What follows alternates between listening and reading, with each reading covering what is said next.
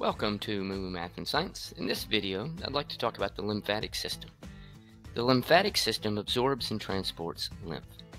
Lymph is a clear fluid that is a result of blood leaking out of capillaries. As blood moves out of capillaries, some of it is not reabsorbed. You lose around 3 liters of blood a day. The lymphatic system reabsorbs this loose blood. If you look at this cross section of a tissue, you will notice how the lymphatic vessel is located near the vein.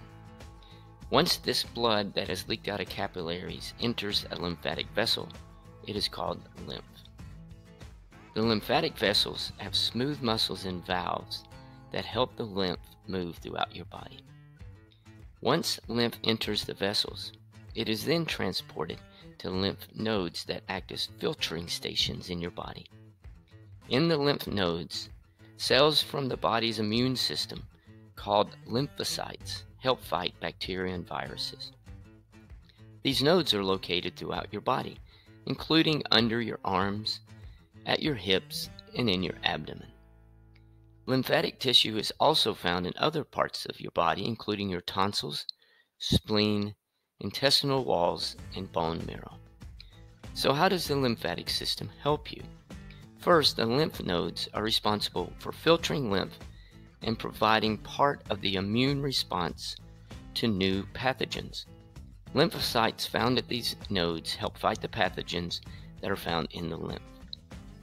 Next, if 3 liters of blood was not returned to the blood vessels, you would have a drop in blood pressure and less oxygen would be found throughout your body and less removal of waste, which could result in a very bad day.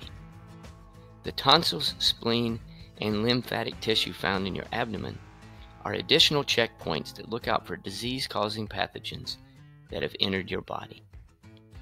And finally, the lymphatic system also helps the, with the absorption of fats and other fat soluble nutrients.